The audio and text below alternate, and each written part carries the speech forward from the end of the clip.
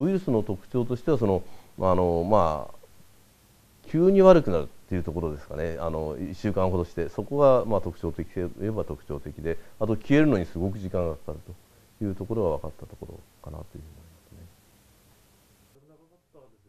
そうですね。私立札幌病院の向井正也院長。これまでに受け入れた新型コロナウイルスの患者28人のうち14人が退院。2人が死亡2人が転院し現在も10人が入院しています。実はですね最初の頃あの重症者も含めて感染症病棟で全部見れるとあの思ってたんですね。で患者もこんなに増えないだろうと思っていたので。当初は感染症病棟だけでしたが新型コロナ患者の増加を受けて対応を強化。現在は重症患者用に集中治療室 ICU の4床軽症・中等症の患者用に感染症病棟の8床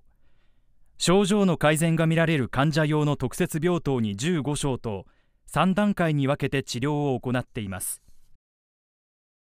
普通に本当に軽い風邪のような症状ですね。咽頭痛とか咳とか痰程度とかあとインフルエンザの時も筋肉痛とか関節痛が出ることがあると思うんですけどそういうような症状が出る方もいますしそれと腹部症状であの下痢をしたりとかっていう方も多いようです。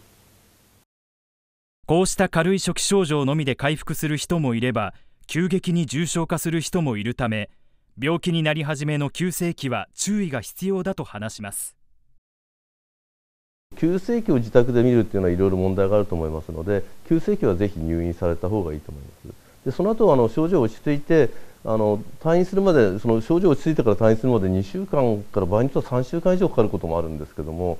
その方たちが本当に入院が必要かどうかについては今のところ所見あの何も証拠がないんですね。ウイルスは出てはいるとは思うんですけど他の人に感染させる力があるかどうかというのはわからないところですので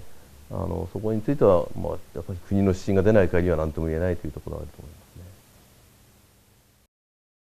ね。病院の職員は未知のウイルスに対する不安と闘いながら患者と向き合っているといいます